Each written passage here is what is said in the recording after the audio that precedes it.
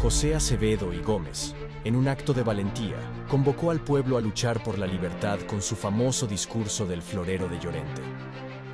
Su pasión encendió la chispa de la independencia, demostrando que una sola voz puede cambiar el curso de la historia.